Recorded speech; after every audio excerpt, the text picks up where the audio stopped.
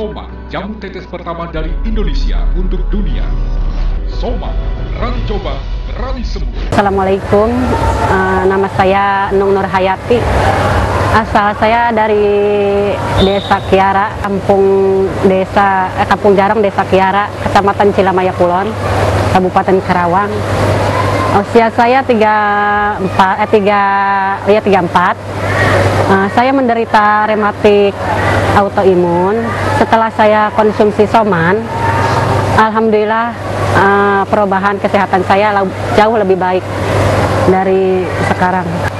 Dulu saya eh, sebelum mengonsumsi soman, saya tersiksa, rasanya sakit, persendian sakit semua. Awal konsumsi soman eh, 2013 pertengahan Januari. Setelah satu tahun ada perubahan yang sangat baik di tubuh saya.